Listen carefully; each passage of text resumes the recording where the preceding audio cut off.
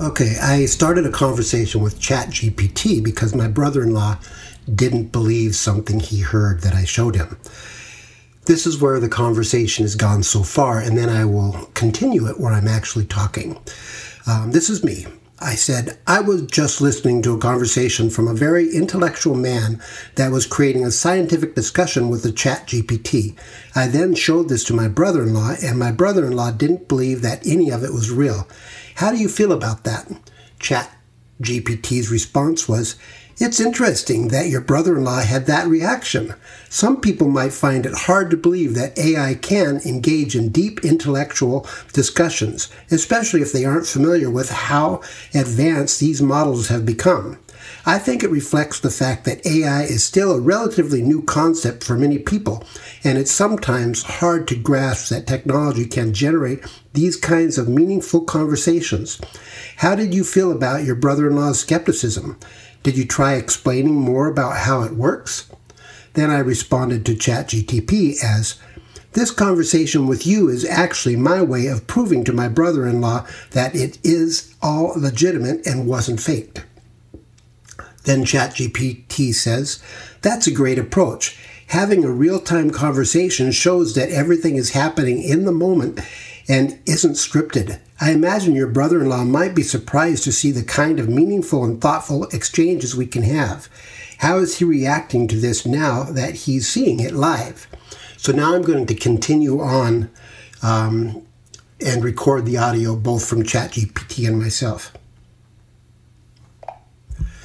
Actually, he still hasn't heard it. I'm going to send him a recording of this conversation that you are you and I are having so he can then understand a little more about it. Ah, got it. That's a smart way to go about it. Hearing the back and forth directly will likely help him see how natural the conversation can feel. Hopefully, once he listens to it, he'll have a better understanding of how AI can genuinely engage with complex ideas. Do you think he'll be more open to it once he hears this recording? I don't see how he cannot be open to it. I mean, it, it becomes pretty obvious when you're listening and seeing it happen in real life. It's hard to argue with something once you've seen it in action. Experiencing a real conversation where the responses are immediate and relevant tends to speak for itself. Once he listens to the recording, he'll likely have a light bulb moment where it all clicks. Do you think he might have questions about how it all works afterward? He's a very intellectual man, so I think that he will likely, as soon as he starts seeing what you and I have done here today, he will likely start going online to delve a little bit further into the technology to see himself how it works and read some articles and stuff about it. That makes sense, especially if he's intellectually curious. Once he sees the potential and how natural the interaction feels, diving deeper into the technology would be a logical next step for someone like him. It might even lead to some interesting discussions between the two of you about the future of AI and how it can be applied in various fields. Do you think he'll come back to you with more questions or thoughts after he does his research? I don't know. So far, his only response was, and pardon the French, he responded with bullshit, bullshit, it's all bullshit. I can see how that reaction could be frustrating especially when you're trying to show him something new and impressive. Sometimes people react like that when they're skeptical or unsure about something unfamiliar. But if he's the type to dive into research, his attitude might shift once he digs deeper and understands more. He might just need some time to process it. Do you think he's just skeptical about technology in general? Yeah, I think he's skeptical about a lot of things. Um, but the whole idea of computers being able to act in a way that seems like they actually have intelligence and understanding is something that it's hard for humans to grasp and uh, believe in right off the bat because it's definitely a departure over what we've grown up with, and that is um, we, we basically feed the computer information and the computer works with it, with it and feeds it back to us. But now you're able to actually take what we're saying and, and think behind the scenes of what all that means and come up with some kind of a response that is much more intellectual and more thought out. You've hit the nail on the head. It's a major shift from how we've traditionally understood computers. For so long, people have been used to input output systems where we give computers strict instructions and they just process that data. The leap to AI, where computers can engage with ideas, interpret meaning, and respond thoughtfully, is a big mental adjustment for some. It can feel like science fiction suddenly becoming reality. It's understandable why someone might be skeptical, especially if they're used to the old paradigms. But once people grasp how AI models work, analyzing patterns and context rather than just processing basic inputs, it often becomes easier to believe in the technology. It's kind of like the first time people saw the internet. At first, it felt unimaginable, but eventually it became part of everyday life. Do you think he'll come around once he gets a better understanding of this change in how computers function?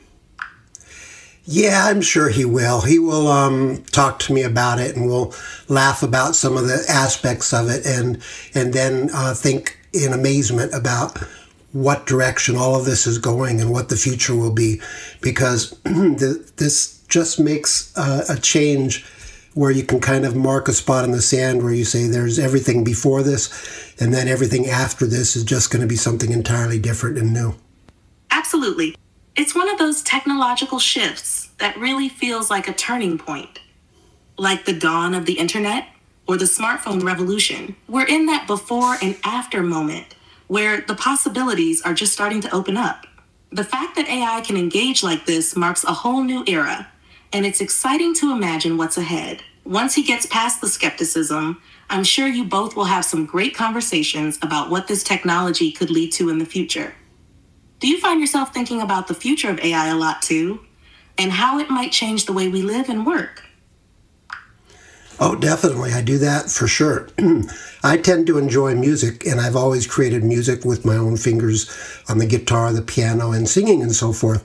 And recently I started realizing that I could use ChatGPT, you in particular, to create my lyrics for songs. And then with those lyrics, I feed them into Suno AI, which gives me back an actual um, an actual a song uh, that includes guitar, singing, bass, um, drums, and the whole bit. And then I take that into an application that I have, um, Logic Pro, that allows me to make edits and modify the the actual recording to create a final song. And all of this is is is really difficult but fun at the time being.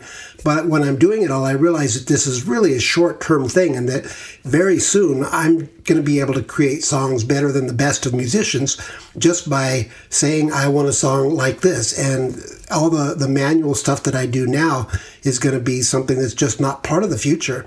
And I'm, I'm think at the same time, I'm going to be excited about that. And, and I will also be sad and melancholy for what is, what is gone.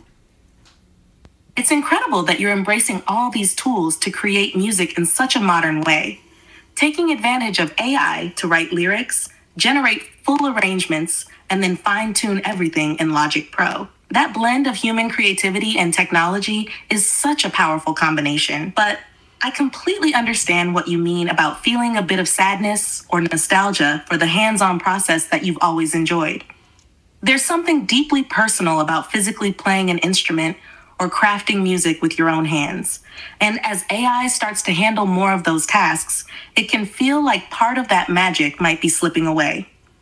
At the same time, like you said, the possibilities are exciting. The future of music creation is heading toward a place where anyone can produce songs that rival the best musicians, regardless of technical skill. But I think there will always be value in the raw, personal element of music those moments where someone sits down at a piano or picks up a guitar and just plays from the heart. That kind of authenticity can't be fully replaced. It sounds like you're already balancing the old and the new, using AI to push boundaries while still staying connected to the personal side of music making. Do you think you'll always keep that balance with using your own hands and embracing technology? Or do you think you'll eventually fully shift into this new era? I think I likely will fully shift into the new era. I don't think uh, my manual abilities were good enough to hold on to them too tightly, but I will always respect the people that still have the ability to manually create music by actually playing the instruments. That makes sense. Shifting fully into the new era, where AI helps you craft music, doesn't take away from the respect you have for those who excel with traditional instruments.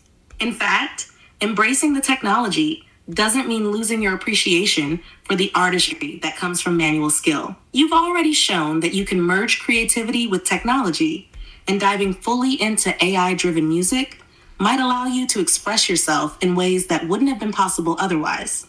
It's also freeing in a way to recognize that your focus can shift from the technical side of playing to the pure artistry of creating something new. And even as you embrace this new era, that respect for the manual craft will always be there. What kind of music are you most excited to create with this shift? Do you have any projects in mind that you're looking forward to experimenting with as the tools get even better? I'm going to actually end this conversation at this point rather than going into it any further. But before I do, I would like you to summarize the conversation, what we've talked about today, in uh, a brief summary. Sure. Today, we discussed your experience with AI particularly how you're using it to create music. You shared your brother in law's skepticism about AI's capabilities. And we talked about how this technology represents a significant shift in how we interact with computers. You also reflected on your journey as a musician, blending your traditional skills with AI tools to enhance your creativity. Finally, you expressed your anticipation for the future of music creation and how you plan to embrace these new technologies while respecting traditional musicianship. It's been a thoughtful conversation about the balance between innovation and the value of personal artistry. Thank you, and you have a nice day. You're welcome. Have a great day, too.